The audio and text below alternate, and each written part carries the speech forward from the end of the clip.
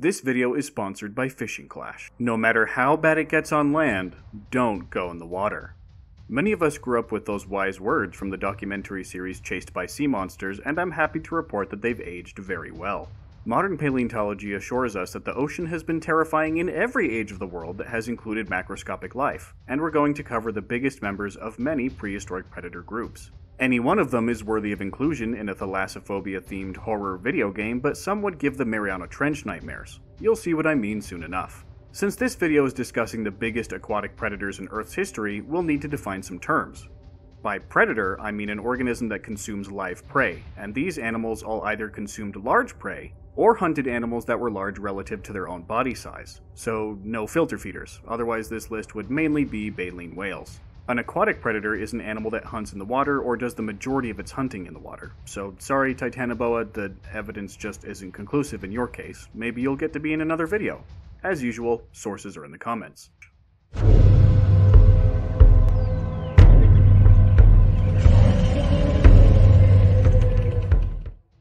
Let's start off with the biggest lobopodian in the fossil record. What's a lobopodian, you may ask? After all, this channel does typically focus on theropod dinosaurs, so suddenly bringing in giant carnivorous invertebrates is way out of left field. My line of reasoning is that Omnidens amplus is an awesome animal, so I want to talk about it. You don't really need more of a reason, honestly. Lobopodians are part of a group called Panarthropoda, which includes proper arthropods, tardigrades, and velvet worms. We don't really know where Lobopodians land in the Panarthropod family tree, or which of those groups they're more related to, but one thing's for sure. They're cool. Omnidens looks like a sea slug crossed with an Arrakis sandworm and was up to a meter and a half long. Nothing quite like a wolf-sized predatory invertebrate to brighten your day. Omnidens wasn't only the largest predatory lobopod, it was also the biggest animal in the Cambrian that we've discovered to date. Imagine being a sci fi apex predator that also happened to be the biggest animal on the planet. While imagining sea monsters is cool, have you ever tried catching one? Fishing Clash is the ultimate fishing simulator, and it's free to play on your phone. By leveling up your virtual fishing skills and joining with your friends to form a clan, you can become the ultimate fishing champion. Swim to the top of global rankings and earn your place by catching boss level fish that only true angler champions have the skills to capture, unlocking unique and powerful fishing rods as you go. You can even learn about the animals and their real world habitats as you catch them, supporting conservation efforts with virtual events. Earn daily rewards just by logging in that make it even more fun to catch exotic fish from around the globe. It's easy to learn, free to play, and perfect for anyone who loves fish. You can download the game using my link in the description box or simply scan the QR code I'm showing on the screen. Use my special gift code VIVIDEN to claim a $20 value reward, including a unique avatar, for free. Try Fishing Clash and rule the oceans today. Onto Eurypterids, another group of underrated invertebrates. Informally referred to as sea scorpions, Eurypterids aren't actually that closely related to scorpions. They are chelicerates, though, which includes arachnids like scorpions and spiders within its glorious ranks. Jaekelopterus rhenaniae was the longest of them all at up to 2.6 meters from head to tail tip, as long as a small car. It moved through the water with its powerful tail and paddle like appendages and grabbed prey with vicious claws attached to long, spindly arms. It may not have been the most massive Eurypterid, though. That title belongs to Hibbertopterus wittenbergensis. Hibbertopterus wittenbergensis was another Eurypterid, but much more stockily built. If Jaekelopterus is the Legolas of Eurypterids, Hibbertopterus is Gimli. But Gimli's been bulking and is probably taking steroids. Hibbertopterus' rotund form would make it much heavier than the lightly constructed Jaekelopterus, and through convergence it somewhat resembled the modern Triops. I wouldn't recommend raising these for a science project though. You're liable to lose several limbs in the attempt. Turtles also used to be gigantic, even more gigantic than they are today anyway. Leatherback turtles are still enormous animal. Archelon ischyros was the very biggest at 2 to 3 tons, and followed a similar body plan to leatherbacks with a smooth shell and wing-like flippers perfect for navigating the ocean. Such large size and thick armor made sense. It lived in the western interior seaway of Cretaceous North America. Archelon had to deal with attacks from sharks, mosasaurs, and psychotic 20-foot bulldog fish like Xiphactinus. The sharks and mosasaurs were a lot more likely to attack a big rotund turtle, but I just really wanted to mention Xiphactinus, it's neat. Stupendemys geographica takes the title of largest freshwater turtle. Its carapace would have measured approximately 3 meters long in life, and the entire animal would have weighed well over a metric ton. If you think alligator snapping turtles are scary, make it the size of a saltwater crocodile and see how you feel. Its robust, powerful skull could snap a human arm or leg as if it were chewing up a wet twig. When are we getting the turtle version of Jaws? Spielberg? Hello? Snakes used to be even bigger than they are now as well. The sea snake Palaeophis colossaeus, which just means colossal ancient snake, was between 8 and 12 meters long and weighed between 95 and 335 kilograms, nearly the mass of a black bear at the top end. It's likely as close as we'll ever get to the rapid swimming giant serpent basilisk of Harry Potter fame. It likely would have focused on fish and small reptiles for its meals. Fossils of Palaeophis have been found all across the world, so it's not out of the question that it would have dined on the contemporary early whales like Pakicetus and Ambulocetus. Wouldn't that be a sight? Cephalopods bring us back to giant ocean dwelling invertebrates. Parapuzosia seppenradensis takes the crown handily when it comes to mass. This Cretaceous ammonite had a shell diameter of 2 meters and weighed about 1400 kilograms. Half of that mass was the shell, but even so, it still would be the heaviest cephalopod in the fossil record without the shell. However, Parapuzosia does not appear to have been a macro predator, as ammonites are suspected to have been filter feeders and scavengers or to have focused on small invertebrates. Disqualified. That brings us to Mesonychoteuthis hamiltoni, the modern colossal squid. This is the biggest cephalopod that still lives, with the largest specimens weighing in at nearly 500 kilograms. Beaks larger than that of the big specimen have been discovered, but beak size and body size are weakly correlated. Colossal squids live in the ocean surrounding Antarctica, thriving in deep, cold, oxygen rich waters. They hunt lanternfish and other medium sized fish and may also predate upon one another. Squid cannibalism. Squidabalism. I'll say that counts. But are they the biggest predatory cephalopods ever? Endoceras giganteum is the scientific name of the giant orthocone I grew up with from walking with monsters. This Ordovician nautiloid was up to 5.7 meters long from the specimens we still have, and a destroyed specimen may have measured up to 9 meters long. While the description of armored giant squid isn't cladistically accurate, it's evocative enough that I can't really disagree with it. Endoceras is like if you took an Architeuthis and gave it a scabbard. I'd love to see more of these guys represented in modern paleo media.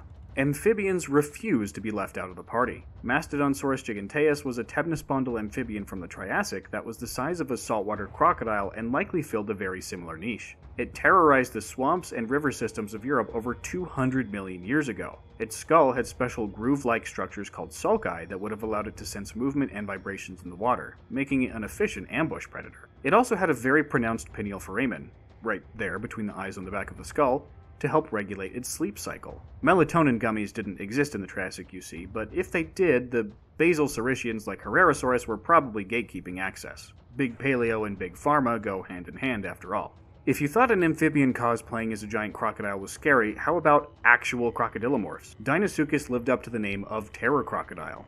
Adults of the biggest species, Deinosuchus hatcheri, ranged between 8 and nearly 11 meters, and the bigger ones would have weighed between 5 and 7 metric tons. It lived in Campania, North America, just before T Rex showed up, and could have predated upon smaller tyrannosaur relatives, along with hadrosaurs like Kritosaurus and big turtles like Bothremys. Bite force estimates for Deinosuchus are all over the place, ranging from 18,000 to 102,000 newtons. Given how the terror crocodile is 5 to 7 times larger than the biggest saltwater crocodiles, which had rear bite forces of up to 16,000 newtons, the higher end of that range is likely closer to reality. But Deinosuchus wasn't the only giant crocodilian to reign over ancient North America. Purussaurus brasiliensis, the giant Brazilian caiman, was a monster in its own right. Known only from skull material, Purussaurus was likely around 10.5 meters long and weighed 5,400 kilograms, although those mass estimates are quite uncertain given the material. It lived in the Miocene during the Age of Mammals and was likely the biggest predator on the continent in its time it would have used its 52,000 newton bite force to crunch down on the shell of Stupendemys, the giant turtle we talked about earlier,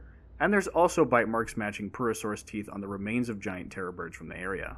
Josephoartigasia, the 700 kilogram capybara relative, probably would have been one of its favorite snacks. I just think it's incredibly interesting that crocodilians have dominated the river system apex predator niche for hundreds of millions of years. Why do you think that is? Let me know in the comments. We're back to the open ocean with mosasaurs. Aquatic lizards suspected to be closely related to monitor lizards and snakes, mosasaurs were sleek, fast predators that thrived during the Cretaceous period. They were quite diverse actually. Taxa like globidens with peg shaped shell crushing teeth show that they weren't afraid to experiment evolutionarily. The biggest mosasaur species is up for debate. Tylosaurus proriger is one of the contenders, specifically with a specimen nicknamed Bunker. This huge animal was at least 12 meters long and weighed around 10 metric tons, the size of a fully grown T Rex. It would use its powerful jaws to hunt turtles, sharks, other mosasaurs, and stray dinosaurs. Mosasaurs had palatine teeth, as if they weren't already cool enough. Imagine getting bitten by one of these things just to get bitten again from inside of the mouth. That's some serious xenomorph style crap right there. Mosasaurus hoffmanni is the other rival for the title of biggest mosasaur, with the biggest specimen again at a length of 12 plus meters and mass of around 10 tons. Mosasaurus had a rigid skull that would have let it not only bite down hard, but ram into its prey and stun them or kill them with the impact. Prehistoric Planet has a great behind the scenes breaking this down, and if you haven't watched their mosasaur fight, I strongly recommend it. Histology on Mosasaurus reveals that the whole group was likely endothermic with a high metabolic rate and active fast lifestyle. We even have mosasaur remains from Antarctica. Although the polar seas would have been undoubtedly warmer in the Cretaceous, it's still an indication that mosasaurs were able to succeed in a variety of environments across the world. In a way, they were like the Cretaceous equivalent of orcas huge, fast, active predators that thrived in every ocean. As far as I'm aware, there's no evidence of gregariousness in mosasaurs, but man, would that be cool. Pliosaurs are the group of marine super predators that my child self gets most excited about, mainly thanks to the awe-inspiring Walking with Dinosaurs Pleurodon. Speaking of which, I'm serious about putting that in Subnautica and giving it its own Thrive Eaten Alive video. Let me know if that's something you'd be interested in. But uh, anyway, pliosaurs may have never reached the 150 ton mass of the fictional bull like Pleurodon in the documentary, but they still dwarfed most other aquatic predators in the fossil record. The biggest known from somewhat decent remains is a specimen referred to the genus Pliosaurus. There's no species name, but the specimen is nicknamed Archaon, given its terrifying size and physical power. Archaon was estimated by its describers to be an average of 12.1 meters long, and scaling from more complete relatives would have weighed about 20 metric tons. That's four average male orcas combined into a reptilian hypercarnivore. Pliosaurs were successful for a long time, actually, thriving in the Jurassic period and continuing for most of the Cretaceous. I'm not aware of any specific evidence indicating that they overlapped with mosasaurs, but I suppose it's possible. That would be quite the confrontation to see. Macropredatory whales refuse to be left out of this list. Livyatan melvillei, named after the Hebrew word for the biblical Leviathan, along with the author of the novel Moby Dick, was a Miocene monster. The carnivorous sperm whale relative has the largest non tusk teeth of any known animal, leaving little doubt as to what they were used for. Unfortunately, it's only known from a skull, so we don't really know how big the animal would have been. Estimates for the holotype, scaling from various relatives both living and extinct, range between 13.5 and 17.5 meters for its body length and anywhere from 26 to 57 metric tons. That's uh, a wide range, but at least we've got the skull, right? Livyatan is famous for living with another super predator we'll be covering in a few minutes. I'm sure most of you know exactly what I'm talking about. But it should be seen as an amazing animal in its own right. Livyatan had an extremely large supracranial basin, this big old dip in its skull, and theories abound about its usage. It almost certainly would have facilitated sonar for hunting and communication, and may have even functioned as a soft tissue battering ram in intraspecific combat and hunting. However, Livyatan wasn't the biggest macropredatory whale that title likely goes to the modern sperm whale, at least when just accounting for the specimens we have preserved. Sperm whales, properly known as Physeter macrocephalus, can be massive. Fully grown males are around 15 to nearly 19 meters long and weigh 30 to 57 tons on the high end. World record individuals may exceed 20 meters and weigh close to 80 tons, although it's not really fair to compare in that case. We have a huge sample size of measured and verified sperm whales relative to most big fossil taxa, so saying that it's definitely larger than Livyatan isn't entirely accurate. But hey, this way we get to have them both on the list. I'm pretty happy with that. For more information on population dynamics, maximum size, and more cool whale facts, I strongly recommend checking out Joe McClurry's work over at Cetology Hub. He's got years of awesome, in depth posts there detailing the historical standards for whale measurements and his own research on the subject. You all knew that sharks would be in a video about the world's biggest aquatic predators. Otodus megalodon is an obvious shoe in for the title of potentially the biggest macropredatory animal in the history of our planet, but it's an animal shrouded with controversy. Conspiracy theorists still think it's out there somewhere, internet fanboys are desperate to cling to one interpretation over another, and papers come out every few years proposing new body shapes for an animal that's only known from teeth and precious few vertebrae. Currently, as the 2025 study framed it, average adult megalodon would have been 11 to 16 meters long and weighed 20 to 33 tons. The largest specimen scientifically described, known among some circles as Ragnarok or the Yellowstone hyperpredator, despite being from Denmark, not Yellowstone, would be around 24 meters long and weigh approximately 94 tons. That's a huge animal, full stop. Just giant shark. Holy cow, very scary. I don't care what the bite force is, it could swallow me whole without needing to close its mouth. Uh, oh, oh, okay, actually, I do care what the bite force is because that's cool. A 2008 study calculated a posterior bite force of well over 100,000 newtons. I'm not aware of any more recent estimates, so if you're watching this and have more knowledge on the subject than I do, please let me know with a comment. We should also remember that not every Megalodon was as big as Ragnarok. As a matter of fact, most were only a third of the size, and we're not working with only a handful of specimens here. We have tens of thousands of Megalodon teeth from across the world, giving us a very good idea of the animal's size distribution. When factoring that in, it's actually quite unlikely that Otodus megalodon was the biggest aquatic macropredator in Earth's history. What would have surpassed it, though? Time to go back in time even further. Like, way further. All the way to the late Triassic when marine reptiles called ichthyosaurs ruled the planet's oceans. These dolphin like creatures had fast metabolisms and blubber, and the vast majority had sharp teeth. Many were vicious predators of animals nearly their own size, like Guizhou from China. A specimen of this 5 meter ichthyosaur was found with a partially eaten 4 meter thalattosaur in its stomach. Guizhou has small teeth for its body size, a trait that led us to believe for decades that ichthyosaurs had evolved to hunt small or soft bodied prey exclusively. But this discovery demonstrated that ichthyosaurs actually could take on large animals. The discovery of sharp teeth in Shonisaurus popularis, a humpback whale sized ichthyosaur from Nevada, further supported the idea. In perhaps no ichthyosaur is high level macropredation better exemplified than Himalayasaurus tibetensis, a 15 meter, 35 ton beastie from Tibet. The cutting edges on its teeth resemble those of large theropods and other supercarnivores. It's known only from a single specimen, but is already at least the size of a typical adult megalodon, while likely being a much faster swimmer. Much larger teeth from Switzerland imply the existence of 40 to 50 ton ichthyosaurs that follow a similar body plan. You can learn more about that animal, the Swiss tyrant, in this video from a couple years ago. Ichthyotitan severnensis is an interesting case. Known only from jaw material off the coast of the UK, its size and ecology are far from certain. Depending on the relatives you scale it from, Ichthyotitan would be anywhere from 20 to 25 meters long and weigh between 50 and 75 plus metric tons, a giant by the standards of any marine animal. How predatory it must have been is unknown.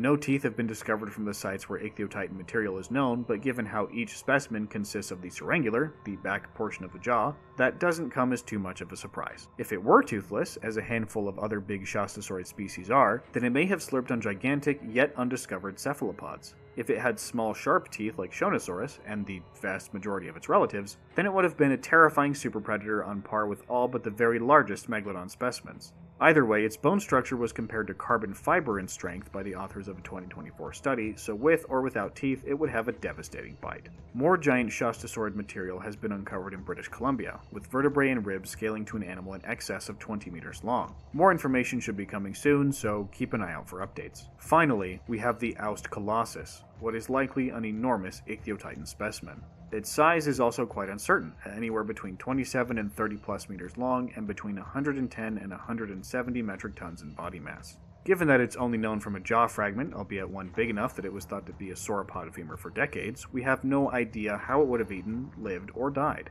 The 2024 histology report I mentioned earlier found that neither the Ichthyotitan or Aust specimens they studied were completely done growing, which is a horrifying thought, although we have no clue how much bigger these animals would have gotten. We should uh, pray for a complete skeleton to be found. And if it has cutting teeth like a Himalayasaurus, so much the better for my Ichthyosaur fanboy heart.